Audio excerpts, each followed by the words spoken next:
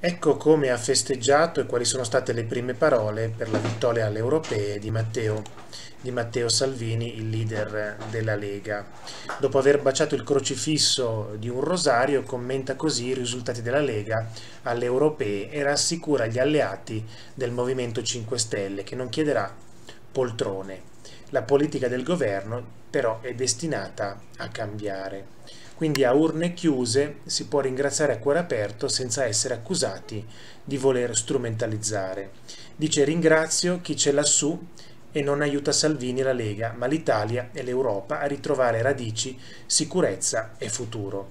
Così Matteo Salvini, dopo aver baciato il crocifisso di un rosario come fece all'ultimo comizio di campagna elettorale, commenta così i risultati della Lega alle europee, dalla sua sede del partito di Via Bellerio a Milano.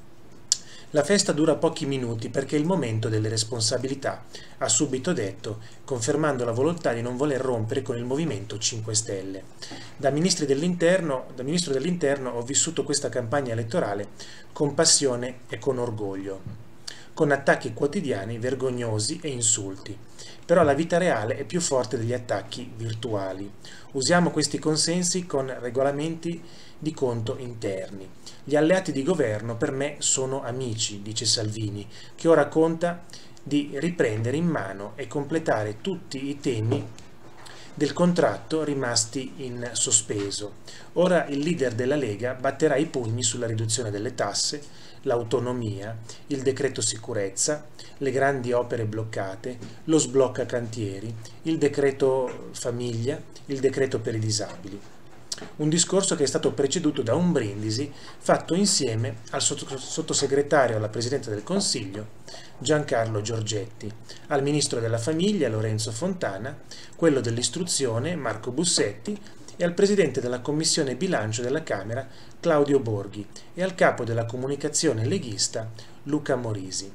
Dalla finestra dello studio di via Ballerio compare una statuetta di Alberto da Giussano, simbolo della Lega, esposto in bella vista e portata da Giorgetti, che l'ha posizionata accanto a un uovo di Pasqua targato Milan e alla sua bandiera dei quattro mori, issata sopra una polpetta.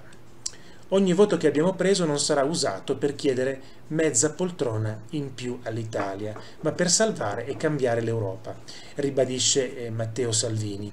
Il mio avversario era e rimane la sinistra.